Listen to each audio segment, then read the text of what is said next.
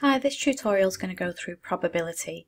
Uh, probability is something that's recently been added to the City and Guilds exam and most of the time you'll find it in the third section of the exam uh, which covers generally data representation and um, graphs and bar charts and that kind of thing. Uh, basically what probability is, and there's a short definition on the screen here is the likelihood of something happening. Uh, probability can be expressed as a fraction, a decimal, or, or a percentage. Um, for example, the likelihood of rolling a 6 on a dice would be 1 in 6. What this is here across the screen is a probability scale. And what that is, is basically um, you start here from 0 and that's the chance of something happening being impossible. And as you move further up the scale, the likelihood of something occurring increases. So about a quarter of the way up, you get to 0.25, which can also be written as 25%. Halfway is obviously 50% or 0.5. Uh, three quarters of the way is 0.75 and 75% and then at the end of the scale you have a certainty which is either 100%, 1.0 or just simply written as 1.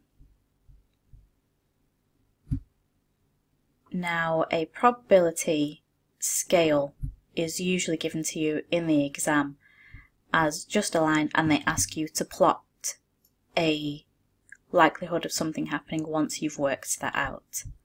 So I'm just going to go through with you what that means.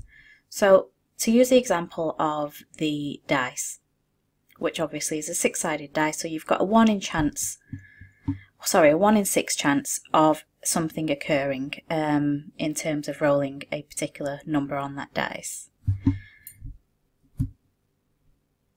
Now the best way to write that out initially is as a fraction. So you can do 1 over 6 as a fraction like that.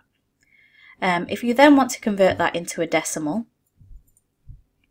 you can divide the top number, which is the 1, by the 6.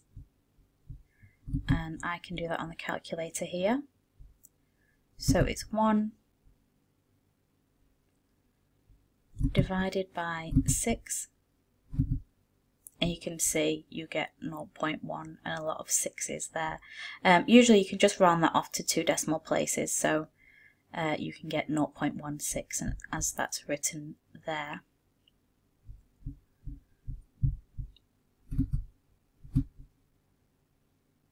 Um, to get that number then as a percentage, you can then times the decimal by 100 and that will give you that as a percentage. So if we go back to my calculator, and times that by 100,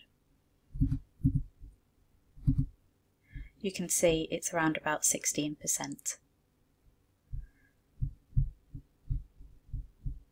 Now, however you use that information, um, whether you need it as a fraction, a decimal, or as a percentage, depends on how you're drawing your probability scale. So usually they'll leave this blank and they'll either say to you, um, input 0 to 100 or you can do 0 to 1. Now if you're doing percentages it's easier to use 0 to 100. So 16% is going to be in between 0 and 25% somewhere around here.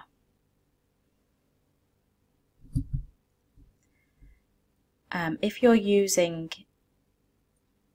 a decimal, which is 0.16, again, it's going to be in the same place. So the, the place doesn't change, but the way that you write the actual probability changes.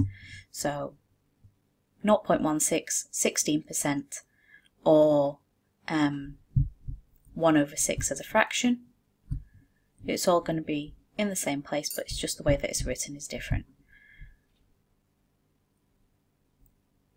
This is how it looks on the actual exam. So like I said, they will get you to kind of put input these numbers. So this can be 0 to 100 or it can be 0 to 1 and that is where I've scaled around 16% and then you can see that that's the 25% mark, 50% mark and the 75% mark.